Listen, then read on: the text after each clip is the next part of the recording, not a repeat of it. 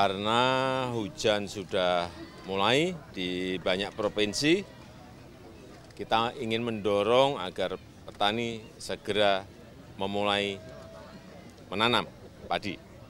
Karena apa, waktu kita kemarin agak, karena El Nino agak mundur sedikit, sehingga ini segera kita kejar agar tanam, tanam, tanam.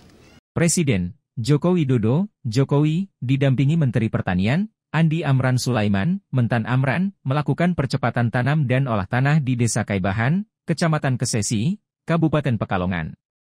Ia meminta para petani segera melakukan tanam untuk meningkatkan produksi padi nasional, hal ini ia tekankan menyusul sejumlah wilayah di Indonesia yang telah memasuki musim hujan.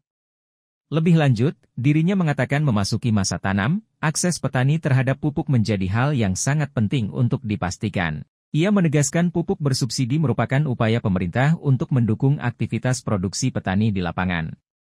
Dirinya memastikan pupuk bersubsidi yang selama ini terkendala dari sisi distribusi tengah dibenahi agar tidak bermasalah di lapangan.